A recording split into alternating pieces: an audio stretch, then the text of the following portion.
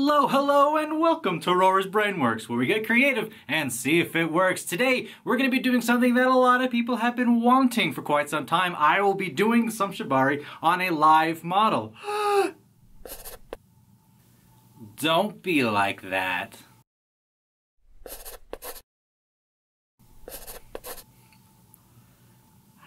All right, someone seems a little bit mad at the prospect. What we're going to be doing and what I will be showing you today is uh, the wrists over the head, behind the back sort of scenario. Kind of like a, a reverse prayer, which is actually kind of more like that instead of over the head. More like a reverse praying mantis. Hard to describe, you'll see. Either way, safe, sane, and consensual is going to be a little bit more important today, mostly because we're going to be working around the wrists and we're going to be putting a body into predicament, into a mm, difficult position to be in. With that said, safety. Be sure to have some safety shears with you at all times. You can always get a new rope, can't get a new life. And consensual. Me, Marie, Crochet, Rory, and my rope model are all consenting adults. Communication is key. Now, before we take a deep dive into this wonderful, beautiful predicament, we must first thank my sponsors, me, and my new gaming YouTube.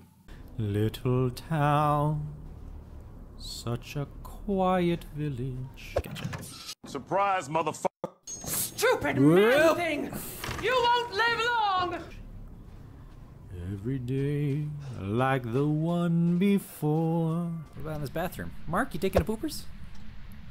Uh, holy sh- Uh, Oh, okay. You know, sure. I think I found Mark. little t- town with some hanging goat heads. A hobbled figure stood in your path. Hee-haw! Twas the prospector! Waking up to say bonjour, bonjour, bonjour, bonjour, bonjour. Do do do do do do do do do do do. This place is cursed and I don't care. So why am I showing you this particular tie? It has a few good elements to it. One, being able to put the wrists together in a, uh, a pair of double column tie cuffs. And it has an air of difficulty to it without actually being that difficult. I would say it is of average difficulty, if not just above beginner. Once you get the lark's head double column around the wrists pretty good, the rest of the tie kind of speaks for itself. There's an easy flow to learn how to do. So let's learn who we're flowing with. Hi. That's Angelia. She's our rope model today. So the first thing we're gonna do is we're gonna take the bite of our rope, the middle of our rope, we're gonna go around the wrists, wrists, oof, and we'll cycle through that. Now you might be thinking, Rory, a lark's head, it cinches. Like, yes it does, but we will be closing it. And we want to give ourselves a little bit of space so that the uh, wrists have a little bit of area to breathe. Mostly because we will be cinching it down at one point. Now what we want to do is make sure that we're going towards the outside, not towards the inside of the wrist. The wrists have a wealth of vessels and ligaments and nerves, and the less we impact on those, the better. So I think going around and having uh, three complete wraps, making sure that our wraps are straight, is the maximum you want to do. If it gets more than that, if you go to four or five times around, it becomes too bulky when we uh, finish up what we're doing here. So after we've come around the third time, we're going to reach into this secondary bite that we created with the girth hitch, and then we're going to pull through that bad boy And once we've gone through that, the immediate want for this rope is to go this way. So we're not going to fight against it. It's, that is its natural instinct, that is what we shall do. And we'll come up from below. And at this point, this is the area where we can really put in our cinchability. So we're gonna come through the double bite again. And it's at this point in time we can cinch down. We can pull down onto it and cinch down. What we want to do is have one to two fingers that can go underneath where the cuffs rest. And what's important is seeing how we continue to go through the bite twice on the right side. We want to create our lock, the half hitch on the left side. So what we're going to do is we'll create a half circle like that, and then we're going to go into the left wrist right here. And then through the half circle we had created. Once it's there, we cinch that bad boy up. Miss Angelia, how does that feel? It Feels great. Nice. So what we're gonna do is we're going to pull it up over the head and around the back. Once we come back down this way, we're gonna go once around the chest, just below where the breasts are. I will have my lovely assistant turn around to face the camera to see. Ah, ooh, and back around.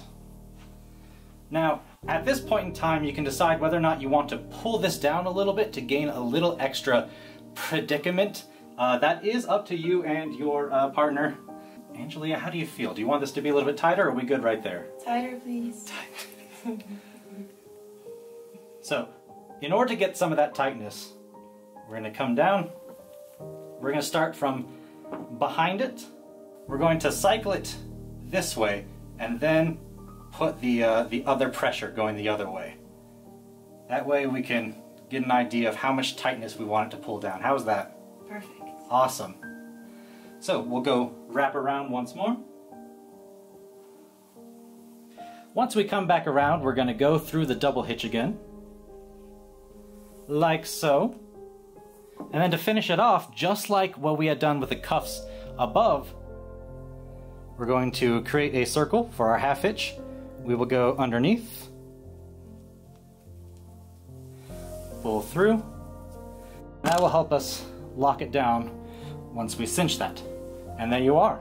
With whatever you have left over, I have about four feet left over, that will essentially be your homework rope. Whatever you want to do with that, you can do. Do you want to go around the chest again? Do you want to try and create a design? Do you want to just put them up against a bedpost so they can't get away?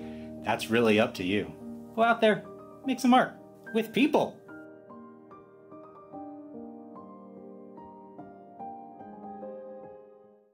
Well, hey! I hope you had as much fun learning from that tutorial as we did uh, teaching it to you.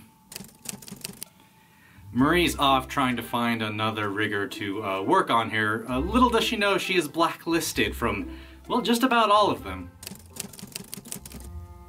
Yes, because of that.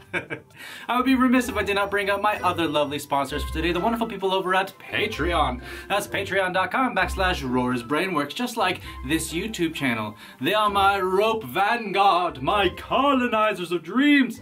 And without them, these ropey endeavors would be way harder to accomplish. Thank you for spending your time with me. Be sure to like this video, subscribe to this madness, and comment down below what kind of ropey things you would like us to teach you. As always, I'm Rory. This is our brain. I'm fairly certain it works. Be safe and go create some art.